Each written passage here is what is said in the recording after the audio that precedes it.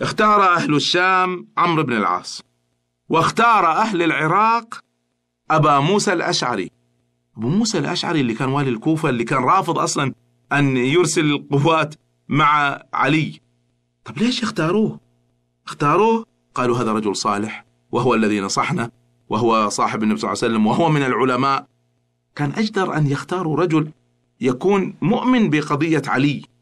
أبو موسى كان يعني في وسط في هذه المسألة. يعني ما كان مئة بالمئة مع هذا القتال. فعمرو بن العاص كان هو الذي يقودها تقريبا. فأبو موسى رضي الله عنه أهل العراق أجبروا عليا على اختياره. هو ما كان رافض له لأنه رجل تقي ورجل عالم وذكي. يعني الروايات التاريخية اللي تصفه بأن أهبل وكذا يعني حاشا. أبو موسى الأشعري هذا هو الذي جاء بالأشعريين قبيلته كاملة جعلها تسلم. ممكن يكون بهذه الصورة التي يصفها أبو موسى الأشعري عالم كبير من علماء المسلمين والي قائد للكوفة أصعب مدينة في القيادة. فما عنده هذه الصفات حاشاه بعيد عن كل هذه الصفات. ذكي عالم تقي ورع. تعلم مباشرة على يد النبي صلى الله عليه وسلم والكل يثق فيه. فوافق عليه علي بن أبي طالب رضي الله عنه. أبو موسى ما كان موجود في المعركة. فأرسلوا إليه من يخبره. فجاءه هذا الوفد وأخبروه بما حدث ثم قالوا له إن الناس قد اصطلحوا. قال الحمد لله. فقيل له وقد جعلت حكما.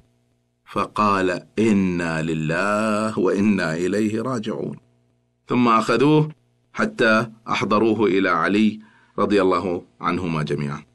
وكتب كتاب التحكيم وفيه بسم الله الرحمن الرحيم هذا ما تقاضى عليه علي بن أبي طالب ومعاوية بن أبي سفيان وشيعتهما. شيعتهما يعني أنصارهما ومن هنا بدأ لفظ الشيعة شيعة علي أي أنصار علي.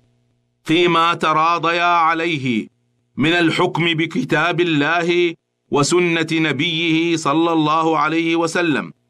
قضية علي على أهل العراق شاهدهم وغائبهم وقضية معاوية على أهل الشام شاهدهم وغائبهم. يعني أي قضاء يتولاه هؤلاء الحكمين سيكون يمضي على علي وكل أهل العراق ومن ينصره ويمضي على معاوية وكل أهل الشام ومن ينصره.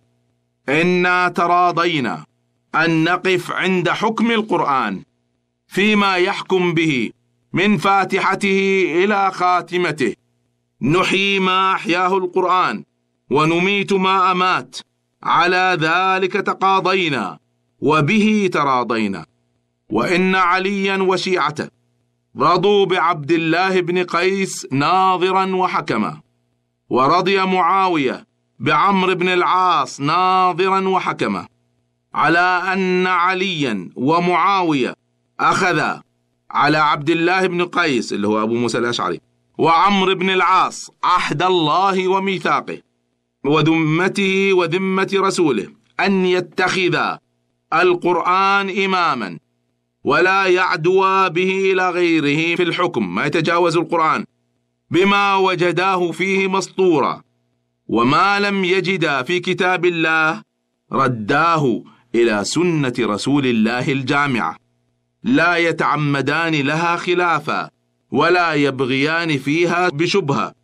وأخذ عبد الله بن قيس وعمرو بن العاص على علي ومعاوية عهد الله وميثاقه بالرضا فيما حكما به مما في كتاب الله وسنة نبيه. وليس لهما أن ينقضا ذلك ولا يخالفاه إلى غيره. وهما آمنان في حكومتهما على دمائهما وأموالهما وأهاليهما وأولادهما. لم يعدوا الحق رضي به راض أو سخط به ساخط. يعني ما يجي واحد بعدين ما تعجبه الاتفاقية فيقوم يقتل أبو موسى الأشعري ولا عمرو بن العاص ولا أهلهم ولا يأخذ أموالهم. هم حكمين فلا يؤذيان. ثم فصلوا. تفصيل في هذا. وإن الأمة أنصارهما على ما قضيا به من الحق مما في كتاب الله.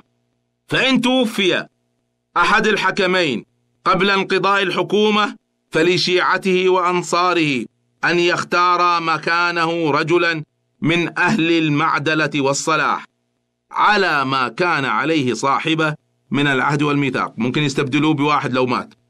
وإن مات أحد الأميرين قبل انقضاء الأجل المحدود في هذه القضية فلشيعته أن يولوا مكانه رجلا يرضونه مكانه. وقد وقعت القضية بين الفريقين والمفاوضة ورفع السلاح.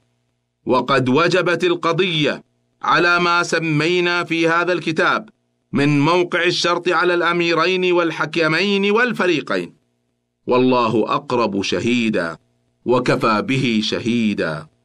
فإن خالفا وتعديا فالأمة بريئة من حكمهما ولا عهد لهما ولا ذمة. والناس آمنون على أنفسهم وأهاليهم وأولادهم وأموالهم إلى انقضاء الأجل والسلاح موضوع والسبل والطرق آمنة. والغائب من الفريقين مثل الشاهد في هذا الأمر. وللحكمين أن ينزل منزلا متوسطا عدلا بين أهل العراق والشام يختاروا مكان للمفاوضات يكون بين العراق والشام ولا يحضرهما إلا من أحب عن تراض منهما يعني هما الحكمين ممكن يحضر معهم آخرين بموافقتهما. والأجل إلى انقضاء شهر رمضان. عندكم مهلة إلى نهاية رمضان فإن رأى الحكمان تعجيل الحكومة عجلاها. ينتهوا من القرار قبل رمضان فلهما ذلك. وإن رأيا تأخيرها إلى آخر الأجل إلى نهاية رمضان أخراها. فإن هما لم يحكما بما في كتاب الله وسنة نبيه إلى انقضاء الأجل يعني انتهت المدة ولم يحكما فالفريقان على أمرهم الأول من الحرب. يعود الأمر كما كان. وعلى الأمة عهد الله وميثاقه في هذا الأمر وهم جميعا يد واحدة على من أراد في هذا الأمر إلحادا أو ظلما أو خلافا. هذا هو نص الاتفاق.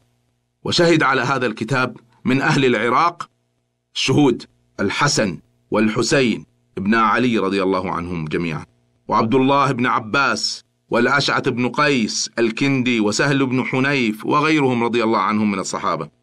ومن أهل الشام الصحابة حبيب ابن مسلم الفهري وأبو الأعور السلمي وعبد الرحمن ابن خالد بن الوليد وليس صحابيا. وعبد الله ابن عمرو بن العاص وهو من الصحابة ومن علماء الصحابة الكبار وآخرون. وكتب يوم الأربعاء 17 صفر. سنة 37 هجرية.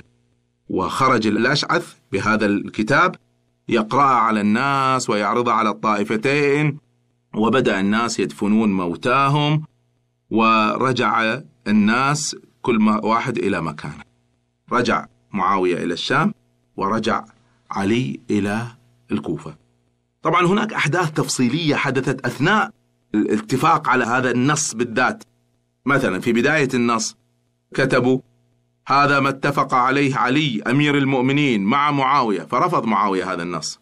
قال أنا ما بايعته حتى الآن أنه أمير المؤمنين. شيلوا أمير المؤمنين. فرجعوا لعلي فقال امسحوها يلا. فهو النص إذا لاحظت ما فيه أن علي أمير المؤمنين لأن معاوية رفض هذا وعلي تسامحا وافق على ذلك. إذا كان هذا هو نص التحكيم. ونص واضح وفي شروط وفي احتمالات وما هو الحل في كل الاحتمالات. كما رأيتم يعني أمر اتفاق واضح تماما. لما انقضى الأجل اجتمع الحكمان في رمضان من السنة السابعة والثلاثين من الهجرة. أرسل علي بن أبي طالب رضي الله عنه الحكم من جهته أبو موسى الأشعري رضي الله عنه ومعه أربعمائة رجل. يقودهم يدير أمورهم شريح ابن هانئ الحارثي. ومعهم عبد الله بن عباس هو الذي يصلي بهم ويعني يعلمهم مرجعهم العلمي كما يقولون.